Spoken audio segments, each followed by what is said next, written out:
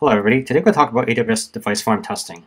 The purpose is to understand if it's going to be feasible to use the offering for enterprise customers. A lot of life science customers have uh, are heavily invested in iPads for uh, the field as a device and they often run multiple applications. So what would be cool is that if you can actually run these test cases in the cloud rather than have uh, somebody manually have, uh, type away at a physical device. So what I do is we upload an IPA file, which is a binary distribution file for over there, and then uh, run a session. Okay, so if we go back to the first screen of the AWS console, uh, here it is. So more or less you can go for services, uh, uh device farm. I've already previously set up a project here, so I'm going to drill down to it. So these are the automated test cases I ran before. Uh, I didn't actually spend any time writing a test case. I just chose fuzz, which is a built-in type of testing that Amazon provides. It's just random like screen clicks. So what's neat about AWS uh, Device Farm is you can get these remote access uh, sessions. So I requested a session earlier, and it actually takes a while for a session to become available. This depends on the availability of uh, devices. So for example here, this is my session. This is actually connecting to an, a physical iPad Air 2. And you can also do things like certain, uh, certain things like swipe and so forth. It's not very sensitive, but uh, let's see if it works or not. Oh, so I only have one screen of apps, so I can't really swipe. But let's say I want to uh, go into find my iPhone. So it does that, and then the home button's down here. So it's very similar to your simulator, but except for it's running actually on a physical device uh, using a .ipa file. Okay, so sometimes it takes a couple clicks. So let's say if we want to actually go swipe here, we should actually navigate to the screen on the right.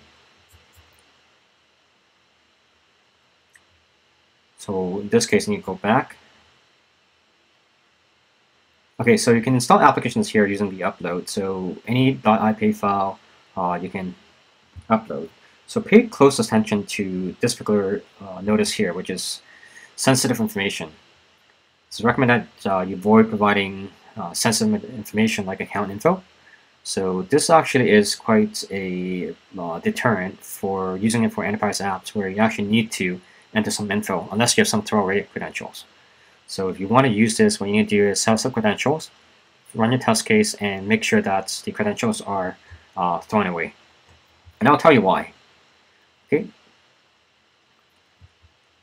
So if we go back to uh, the remote access here, so the previous test session, if you drill down into it, you can look at the files, and it provides you actually a UI log.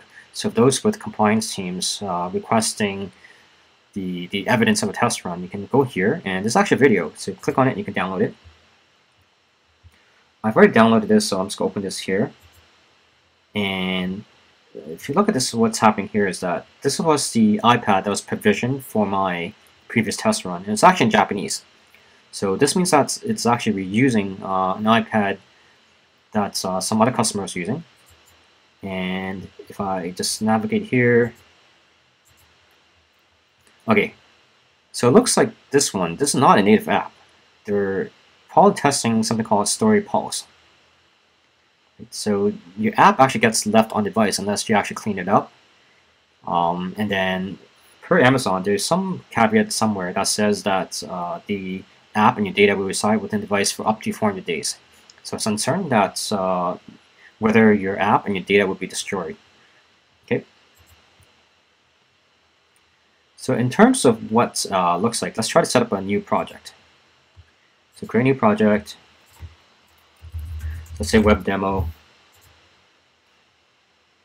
So you create these runs and then you can uh, ask for a particular device. So let's see. Choose your app.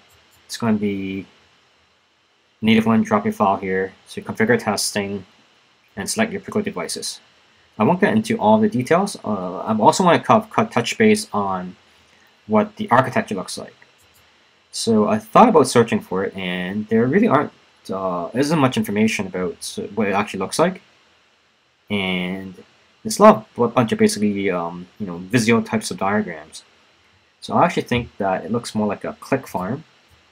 For those of you following the news, uh, some like uh, companies have set this up where they mimic uh, clicks right, to, to kind of uh, still add uh, revenue. So it's a bunch of devices basically that's going to be hooked up to some kind of um, board or relay, and then uh, so they're really physical devices.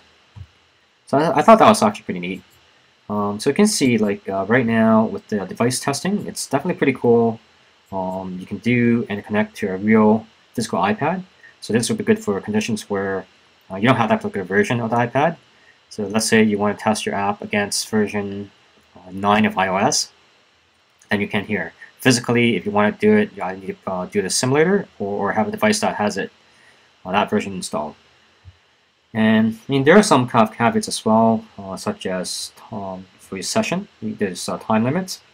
So let's stop the session because I'm not using it anymore. Uh, so definitely feel free to test this out. It comes with, I think, um, about a uh, thousand minutes uh, for free for you to uh, test out, and then afterwards it comes a paid offering. Okay, yep, thanks for watching.